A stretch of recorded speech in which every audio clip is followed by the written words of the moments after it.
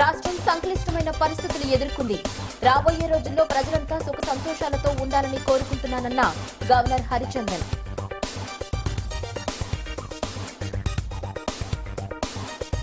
BJP నేతలపై Vellampalli fire. దేవుడి సన్నిధిలో అయినా నిజాలు మాట్లాడాలన్న మంత్రి. అవినీతి భాగోతంపై మాట్లాడుతుంటే ఉనికిపాటు ఎందుకన్నా కాషాయిదళం నగరాభివృద్ధిపై సీఎం జగన్ ప్రత్యేక దృష్టి. పరిష్కార వేదిక సభలో మేయర్ భాగ్యలక్ష్మి వెల్లడి. కోవిడ్ నిబంధనలు పాటిస్తూ ప్రభుత్వానికి సహకరిస్తాం. చాంబర్ అధ్యక్షులు కొనకళ్ళ స్పష్టీకరణ.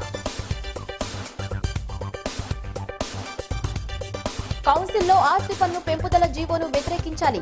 వైసీపీ కార్పొరేటర్లకు వామపక్షాల పిలుపు.